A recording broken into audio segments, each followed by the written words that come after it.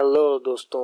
Welcome in software requirement engineering lecture series lecture number thirty में most welcome आज हम देखते हैं कि लेक्चर नंबर थर्टी के अंदर हम क्या सीखने वाले हैं और आई एज्यूम के इससे पहले जो ट्वेंटी नाइन लेक्चर्स हैं, वो आप अच्छे तरीके से सुन भी चुके होंगे, समझ भी चुके होंगे और उनकी बड़े अच्छे तरीके से चीज़ों की प्रैक्टिस भी कर चुके होंगे।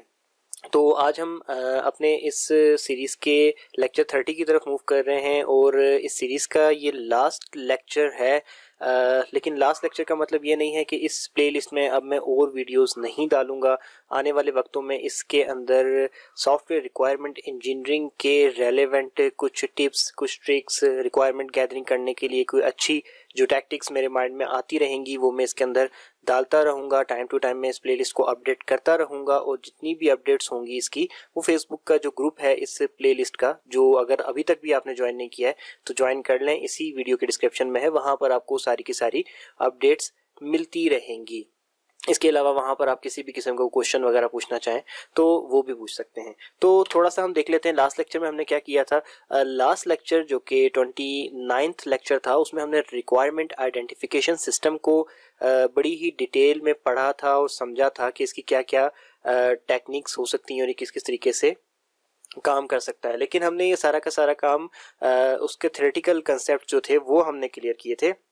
तो आज मैं आपको इसको थोड़ा सा जो है प्रैक्टिकल की तरफ़ लेके जाना चाहूँगा और प्रैक्टिकली ये चीज़ें हम देखेंगे कि किस तरीके से काम करती हैं। आज हम रिक्वायरमेंट आइडेंटिफिकेशन टेक्निक को थोड़ा सा प्रैक्टिकली देखेंगे। मैंने आपको बताया था कि हम ये जो वर्ड प्रोसेसिंग डॉक्यूमेंट्स हैं, इसमें भी कर सकते हैं डेटाबेस में भी कर सकते हैं। और मैंने आपको ये कहा था कि मैं आपको एक अच्छी और बेहतर अप्रोच भी मैं इसके रेलेवेंट बताऊँगा और मैंने प्रेफर किया था कि आपके लिए बेहतर ये है कि आप एम एस वर्ड या फिर एक्सेल की फ़ाइल के ऊपर ये काम करें और इसके अलावा जो एक अप्रोच मैंने आपको बतानी थी। तो चले हम सबसे पहले इसको एक्सेल पे देखते हैं क्योंकि एक्सेल सबके समझ आने वाला जो है डॉक्यूमेंट होता है और सब जो इस रिक्वायरमेंट इंजीनियरिंग के लेवल पे बैठे हुए हैं, तकरीबन उनके लिए एक्सेल में कोई भी ऐसी टेक्निकल या मुश्किल चीज़ नहीं होगी। तो ये मैंने एक छोटी सी फ़ाइल जो है आप लोगों को समझाने के लिए प्रिपेयर की है। इसके अंदर अगर आप देखें तो सबसे पहले क्या लिखा हुआ है? सीरियल नंबर ठीक है? यानी कि मैंने जैसे आपको बताया था कि आप रिक्वायरमेंट्स को अलग अलग नंबर्स के थ्रू आइडेंटिफाई कर सकते हैं। तो अब यहाँ पर जब सीरियल नंबर चलेगा तो डेफिनेटली ये सबका एक अलग अलग नंबर ही होगा। कभी भी ऐसा नहीं होगा कि दो दफ़ा टेन आ जाए या दो दफ़ा अलेवन आ जाए एंड सो ऑन तो सबकी अलग अलग सीरियल नंबर होगा तो ये एक यूनिकली आइडेंटिफाई करने के लिए इसकी एक आईडी भी बन सकती है। तो मैंने कोई टेन रिक्वायरमेंट्स ले ली हैं वन टू टेन आप देख सकते हैं और ये डमी रिक्वायरमेंट्स हैं, ये कोई किसी रियल प्रोजेक्ट की रिक्वायरमेंट्स नहीं है। अब रिक्वायरमेंट नंबर वन अगर आप पढ़ें तो उसके अंदर ये लिखा हुआ है कि जो आपका सॉफ्टवेयर है उसका कलर ब्लू होना चाहिए, ठीक है? अब उसके आगे मैंने सोर्स लिख दिया मीन्स ये कि रिक्वायरमेंट किसने दी है कहाँ से आई? तो जब हम रिक्वायरमेंट गैदर कर रहे थे तो जिस बंदे ने सॉफ्टवेयर का एंड यूज़र बनना था, यानी कि एंड यूज़र हम उसको कहते हैं जिसने सॉफ्टवेयर को बैठ के एक्चुअली यूज़ करना था, उसने ये बात हमें बताई। तो हमने सोर्स लिख दिया। अगर आपको उसका नाम पता है तो ब्रैकेट में उसका नाम भी ऐड कर दें। रिलेट्स विद यानी कि ये क्या किसी और रिक्वायरमेंट के साथ रिलेट होती है? हाँ तो अगर अगर नहीं होती तो ज़ीरो अगर होती है तो हम इसको क्या कर देंगे? हम इसको यहाँ पे कन्वर्ट करके ऐसे वन कर देंगे। अब हम दूसरी देखते हैं। अब देखें इफ़ द सॉफ्टवेयर दूसरी जो रिक्वायरमेंट है, इसको अगर आप पढ़ें, ये थोड़ी सी हाइड हो गई है, मैं आपके सामने क्लियर कर देता हूँ।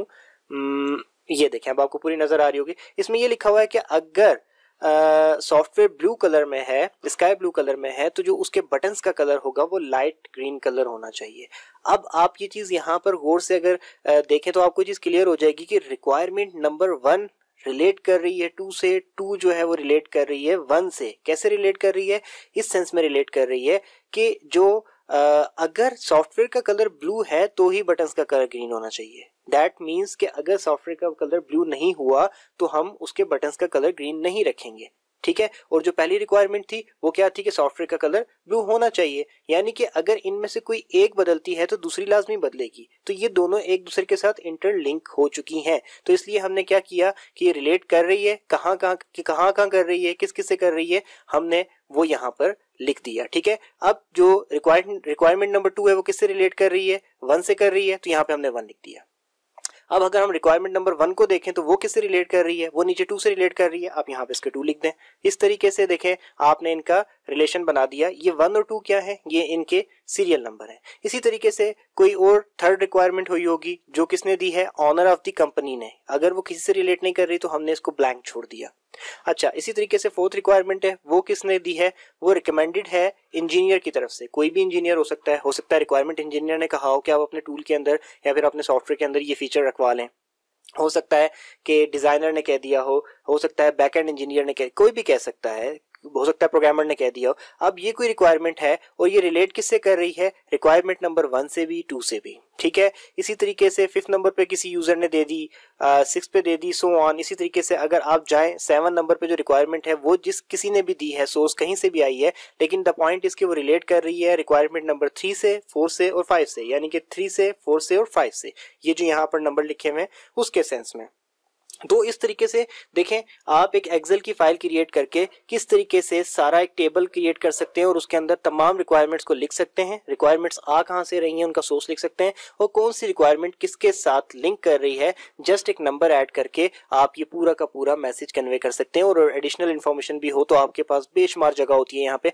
आप बड़ा आसानी से इसके अंदर वो एड अप कर सकते हैं। अब एक चीज़ आप देख रहे होंगे जो मैंने डिफाइन नहीं की मैंने यहाँ पर इसका कलर ग्रीन रखा हुआ है यहाँ पर इसका कलर रेड रखा हुआ है और यहाँ पर इसका कलर भी रेड रखा हुआ है सेल का कलर सो इसके पीछे क्या लॉजिक है?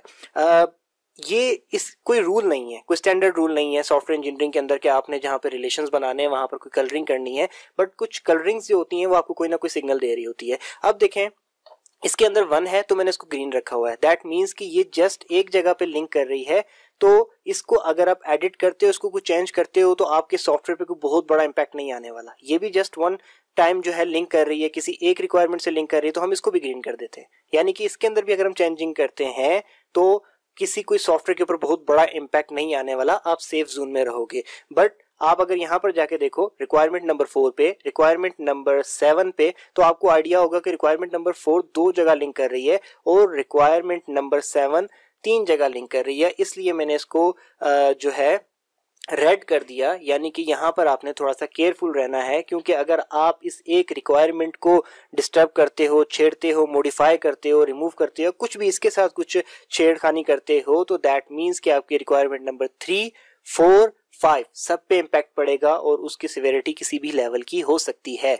और अगर आप सिवेरिटीज भी देखना चाहते हैं तो आप यहाँ पे कॉलम ऐड कर सकते हैं जिसके अंदर पता चल जाए कि जी आ, कितना इम्पैक्ट किस रिक्वायरमेंट के ऊपर पड़ रहा है। क्योंकि कोई कोई रिक्वायरमेंट्स ऐसी होती हैं जिनको रिमूव कर देने से बाकी रिक्वायरमेंट जो उसके साथ रिलेट कर रही होती हैं उनका वजूद ही नहीं रहता। तो इस चीज़ को टैकल करना बहुत लाजमी होता है। तो खैर द पॉइंट इज़ के ये चीज़ थी। देखें एक्सेल के अंदर किस तरीके से हमने रिक्वायरमेंट्स को डील करना सीखा। अच्छा यही चीज़ अगर मैं आपको बोलूँ कि आप ने एम एस वर्ड में, यानी कि माइक्रोसॉफ्ट वर्ड में करनी है तो बहुत आसान है। कोई इसमें कोई मुश्किल वाली बात नहीं है, कोई परेशानी वाली बात नहीं है। इसके अंदर आप बहुत इजीली कर सकते हो। आपने एक ऐसा ही टेबल क्रिएट करना है एमएस वर्ड के अंदर और यही ऐसे ही उनको रिक्वायरमेंट्स को फिल करना शुरू कर देना है। तो आप वहाँ पे भी कर सकते हो। बट द पॉइंट इज़ कि अगर आप एक्सेल में करते हो तो आपको बने बनाए चैम्बर्स मिल जाते हैं सेल्स मिल जाते हैं और आप उनको अपने लिहाज से मॉडिफाई कर लेते हो। इसलिए मैंने यहाँ पर ये जो एग्ज़ाम्पल है वो एक्सेल के अंदर दी। अच्छा इसके बाद वर्ड के अंदर भी सेम ऐसे ही होगा। आई होप सो कि आप लोगों को समझ आ चुका होगा। थर्ड चीज़ जो मैंने आपको बतानी थी, वो एक साइट है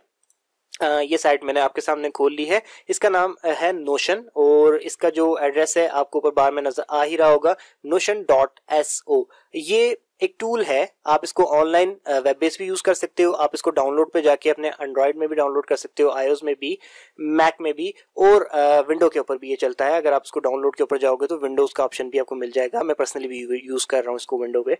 तो आ, ये क्या है? ये बेसिकली एक ऐसा टूल है जो मुख्तलिफ़ किस्म के आपको मैनेजमेंट करने के लिए प्रोवाइड ऑप्शन देता है। आप इसके ऊपर नोट्स भी बना सकते हो आप इस पर अपने डॉक्यूमेंट्स भी क्रिएट कर सकते हो आप इसके ऊपर अपने होम टास्क भी अरेंज कर सकते हो और इन सब चीज़ों के साथ being an engineer being a requirement engineer आप क्या कर सकते हो कि आप अपने पूरे पूरे प्रोजेक्ट को यहाँ मैनेज कर सकते हो। यहाँ पे आपको बहुत सारे टूल देता है। अगर मैं इसकी डेप्थ में जाऊँगा तो इसके ऊपर एक कंप्लीट पूरी बड़ी सात से आठ घंटे की प्ले क्रिएट हो सकती है। इसमें इतना रिच टूल है ये। तो आ, मैं आप लोगों को हाईली रिकमेंड करूँगा कि आप इसके ऊपर जाएँ इसको ओपन करें इसको सीखना बिल्कुल मुश्किल नहीं है।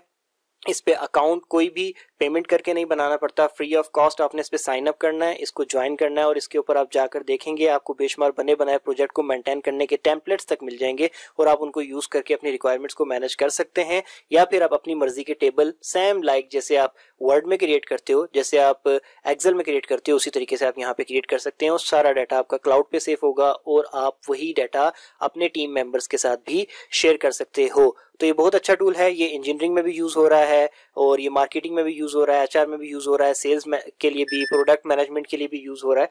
तो इन सब चीज़ों के अंदर ये मैनेज यूज़ हो रहा है। तो मैं आप लोगों को ये हाईली रिकमेंड करूँगा कि आप अपने काम को इसके ऊपर जो है मैनेज करें।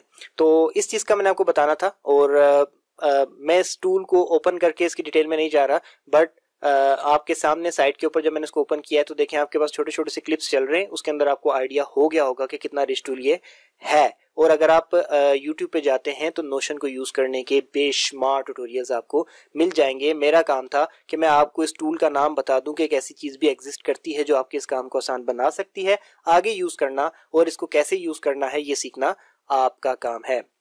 तो इस लेक्चर को अब मैं एंड करता हूँ। अगर इसके रेलेवेंट किसी भी किस्म का कोई क्वेश्चन आपके माइंड में हो तो मेरा ट्विटर अकाउंट आपको स्क्रीन पे नज़र आ रहा है। आप मुझे मेंशन करके पूछ सकते हैं। इसके अलावा जैसे कि मैंने आपको बताया कि हमारे इस रिक्वायरमेंट इंजीनियरिंग की सीरीज़ के लिए एक स्पेशल फेसबुक पे ग्रुप क्रिएटेड है। वो ग्रुप जो है वहाँ पर ये सारी की सारी स्लाइड्स भी शेयर हैं लेक्चर भी सीक्वेंस में शेयर हैं और आप जैसे बहुत सारे स्टूडेंट्स जो रिक्वायरमेंट इंजीनियरिंग सीखना चाहते हैं उन्होंने उस ग्रुप को ज्वाइन कर रखा है। आप भी ज्वाइन कर लें। लेटेस्ट आएँगे अगर कोई लेक्चर रिक्वायरमेंट इंजीनियरिंग के रेलिवेंट तो वो आपको वहाँ पे मिल जाएँगे।